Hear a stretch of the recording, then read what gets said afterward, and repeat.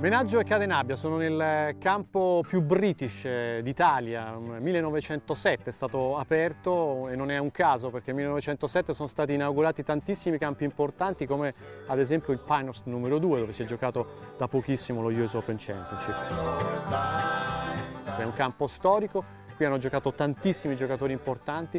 1923 qui addirittura ha giocato eh, Harry Taylor che faceva parte del grande triunvirato insieme a Vardon e Braid, vincitore di 5 Open Championship che ha collaborato anche al disegno di questo percorso, quando è diventato da 9 buche a 18 buche insieme a Mr. Wyatt sono stati grandi protagonisti di questo percorso.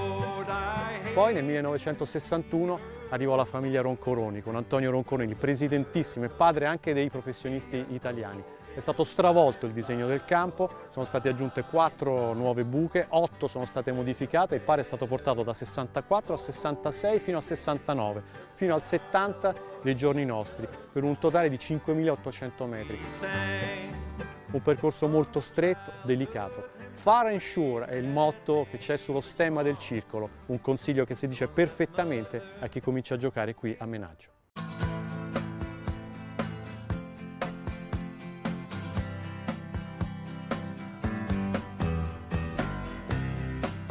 Benvenuti a Menaggio, T della 1 di questo par 4. Iniziamo subito con una buca piuttosto complicata, un par 4 di 393 metri. È molto stretto, bosco a destra e bosco a sinistra, è un po' nella caratteristica di questo campo ed è una buca che va giù in discesa, quindi il tee shot è molto molto delicato. Io non giocherò al driver, giocherò un legno 4 per mettermi a circa 210-215 metri per poi poter attaccare il green con il secondo. Per quanto riguarda invece i giocatori meno esperti che giocano un par 4 più corto, circa 325 metri, è bene posizionare il primo colpo nella parte sinistra del fairway dove è più piatto per poi giocare un secondo colpo davanti al green ed attaccare il green con più facilità da circa 50-60 metri, da evitare tutta la parte destra del fairway perché pende verso il rough. Adesso legno 4.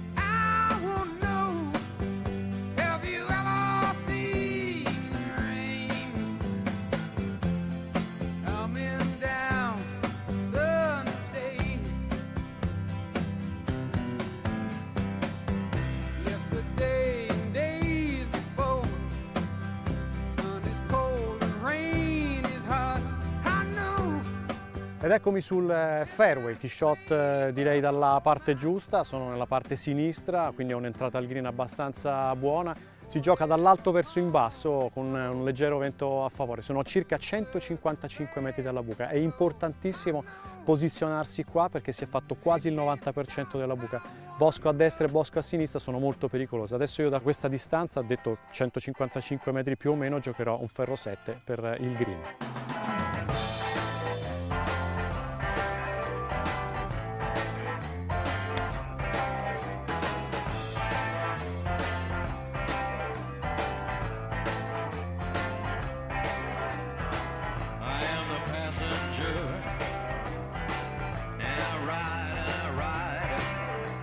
Ed eccomi sul eh, green, un green abbastanza grande per una buca difficile, lungo circa 28 passi ed è diviso in due settori, la parte alta, questo piccolo gradino e poi la parte bassa. Intorno tre bunker, sono due nella parte sinistra, uno anche copre la parte centrale e un altro nella parte destra. Questa è una bandiera insidiosa, lunga, perché dietro c'è una piccola discesa, quindi ho preferito giocare a centro green ma ho chiuso un po' troppo il mio secondo. Adesso due patte per il 4 che non è mai un cattivo risultato per questa prima buca.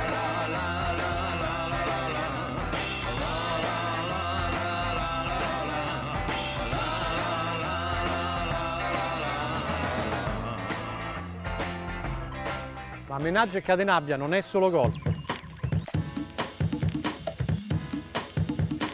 Menaggio, il campo e la sua storia. La storia del Golf Club Menaggio risale al 1907, quando la zona del lago di Como era una delle mete turistiche più frequentate da industriali e commercianti. L'idea poi nacque da quattro gentiluomini inglesi che, particolarmente affascinati da questi luoghi così suggestivi e dal clima sicuramente migliore del nord Europa, decisero di fondare lo storico percorso. Abbiamo festeggiato i 100 anni eh, nel 2007 e eh, stiamo eh, andando avanti nella storia di questo circolo e ci stiamo preparando per festeggiare i 110 anni.